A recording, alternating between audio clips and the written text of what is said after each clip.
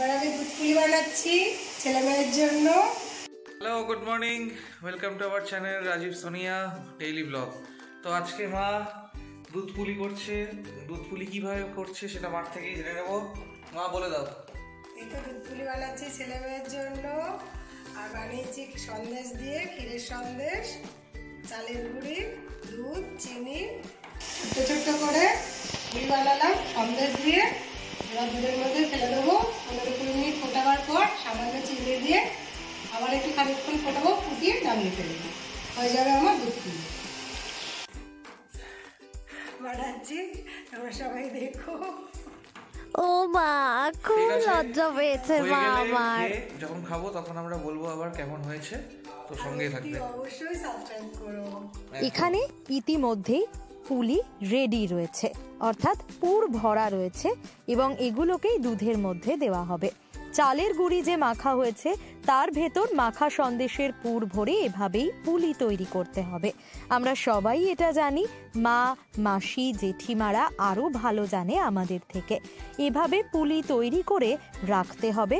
বেশ খানিকক্ষণ দুধ ফুটিয়ে তার মধ্যে এই পুলিগুলো এভাবেই একে একে ছেড়ে দিতে হবে। দেখতে হবে যাতে দুধটা প্রায় পনেরো থেকে কুড়ি মিনিট আস্তে আঁচে ফোটানো হয় যাতে অনেকটা ঘন হয় দুধটা। তারপর পুলিগুলো দিয়ে এভাবেই নাড়াচাড়া করতে হবে। বেশ খানিকক্ষণ পর দেখা যাবে গপ গপ করে এভাবেই ফুটছে মাত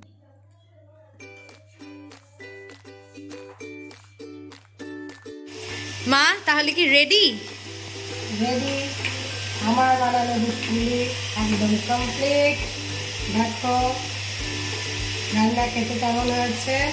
সেটার আপডেট আমরা দেব।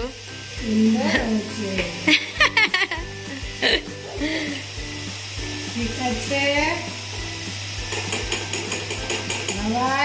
একদম দেখতে তো ফাটাফাটি হয়েছে। বাকি আপডেট আমরা খেয়ে দিতে পারব। আর তোমার বানানো মানে অলওয়েজ ভালোই হবে।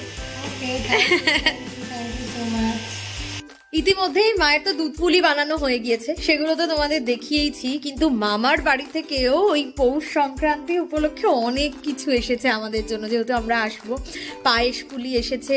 আর কি কি এসেছে মা? সরু চাকলি তরকারির পিঠে পুলি পিঠে। পুলি পিঠে সবকিছু এসেছে আর টেস্টও করেছি। দারুণ হয়েছে সবকিছু যেহেতু মামার বাড়ি যাওয়া হয়নি আমার। তাই এখানেই যাতে সবাই দেখতে পায় মামা মামি সবাইকে অনেক অনেক থ্যাংক ইউ আর তুমি গিয়ে বলে দেবে ঠিক আছে? আর যখন মামা বাড়ি যাব তখন তোমাদের সঙ্গেও আলাপ করাবো সববার যারা যারা এই পিঠে টিঠে সব কিছু বানিয়েছে। দেখে নাও এবার কি কি এসেছে মামা বাড়ি থেকে।